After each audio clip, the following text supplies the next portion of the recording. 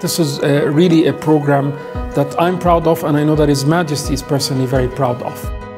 He is a leader that leads by example, and we all know that. And his belief uh, in excellence, in meritocracy, in leadership, creating leadership, is exemplified by his life, by his career, by, by everything he did. So you have to feel also very privileged that these are competitive programs that you have been selected from public, private uh, sector organizations, and you've had to go through this incredible experience. بشتغل بالإسكان العسكري الجيش العربي بشتغل بشركة أمنية بالدائرة الهندسية مديرة البرامج بالجمعية الملكية للتوعية الصحية رئيس شعبة العمليات في إدارة الدولة الخارجية مديرية الأمن العام شاركت بمشروع تطوير الخدمة المدنية تعلمت كيف نطلع الأحسن من كل شخص للمصلحة العامة كانت لكل واحد منتسب للبرنامج دور إنه يكون قائد وطبقنا هاي المهارات ومارسناها بشكل عملي Each year, out of seven years, 172 people. The program, the participants got even better, but also one thing I'm particularly proud of 40% have been female. I heard that this was an extremely competitive group and they surpassed themselves. There has been very relevant projects that you've done. Several of them have been adopted in your own institutions. One was Ifridha. هاي المشروع هو تطوير الخدمات المقدمة من القطاع العام لمتلقي الخدمة من خلال الابتسام which was meant to create a positive energy among Jordanians.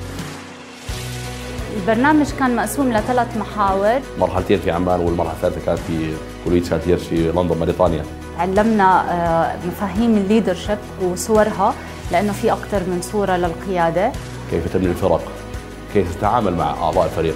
تستخرج الطاقات من الناس. عن طريق اكتشاف والتركيز واستغلال موهبة وقدرة كل شخص فيهم. التخطيط الجيد ونقل الصورة الواضحة للفريق مساعدة فريق العمل على إنجاز أعماله بشكل أفضل You all have been showing the excellence that brought you, as it were, to the course in the, in the first place. In the course of that, you were able to go to Santos. سيدي البلاد جاءت الملك عبد الله الثاني حفظه الله ورعاه ومن خريجين كلية سانتيرست تشرفنا بزيارة الجناح اللي تم عمله تكريما لجلالة الملك حسين الله يرحمه كان لنا الشرف أن خضنا بعض التجارب اللي خاضها جلالة الملك حفظه الله ورعاه قدرت الصراحة بس أرجع على مؤسستي إني أنقل هاي الخبرة بحيث إنه عرفنا كيف نخلق طاقة إيجابية ضمن الفريق كيف إنه الفريق كله يعرف إيش الغاية اللي بتطمح لها المؤسسة وبالتالي يعمل ويشتغل بكل طاقاته حتى يقدر يحقق هاي الغاية وهاي الرؤية تبعت المؤسسة.